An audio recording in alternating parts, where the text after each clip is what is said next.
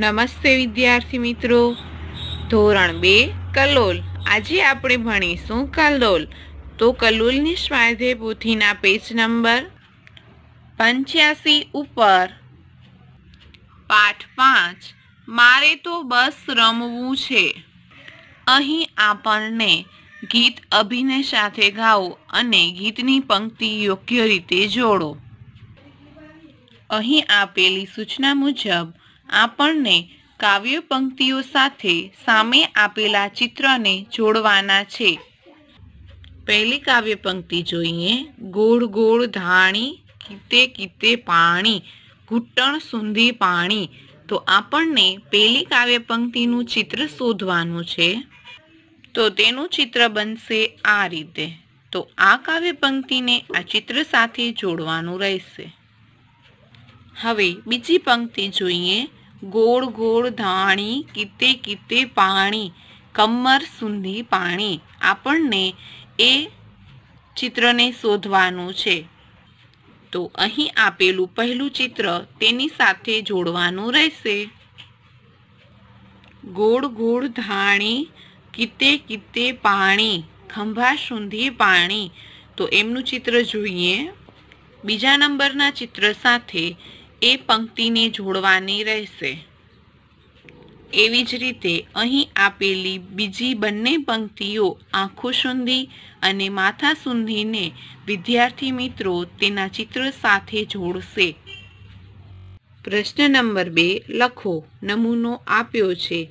આપણને અહીં આપેલા નમૂના મુજબ આ પ્રશ્ન પૂર્ણ કરવાનો છે. અહીં આપણને ઉપર આપેલી જે પાંચ પંક્તિઓ છે, તેમાં આપેલા શબ્દોને અહીં લખવાના છે. તો પેલું આપણને ઉદાહરણ આપેલું છે, ઘૂંટણ. તો તેના પછી આવશે કમર, પછી ખંભો, આંખો અને માથા. આમ, આ પાંચે જે આપણની કાવ્ય પંક્તિમાં આપેલા છે, એ અહીં શબ્દ લખવાના છે. પેજ નંબર છ્યાસી ઉપર પ્રશ્ન નંબર ત્રણ, અભિનય કરો. અહીં વિદ્યાર્થીને અભિનય કરવાનો છે. અહીં એક કાગડાની વાર્તા આપેલી છે, જેને આધારે વિદ્યાર્થી કાગડા જેવું વર્તન કરશે. તો પેલું જોઈએ, હવે હવે ઉડાતું નથી, ખૂબ તરસ લાગી છે. તો કાગડા જેવું જ વર્તન વિદ્યાર્થીઓ કરશે.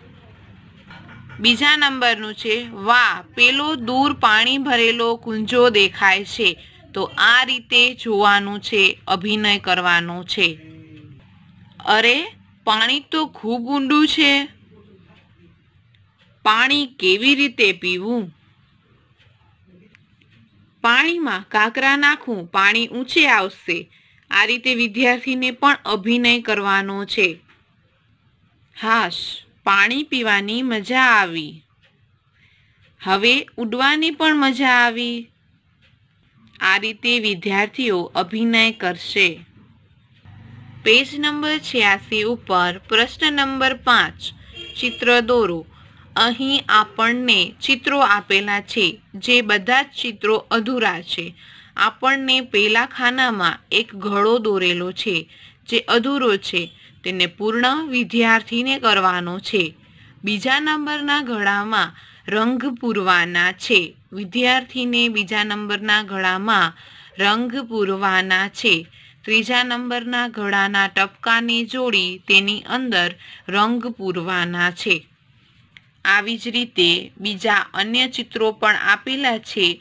તે બધા જ ચિત્રો એ મુજબ જ છે કે પહેલું ચિત્ર એ અધૂરું પૂર્ણ કરવું બીજા ચિત્રમાં રંગ પૂરવા અને ત્રીજા ચિત્રને ટપકા વડે જોડી અંદર રંગ પૂરવા.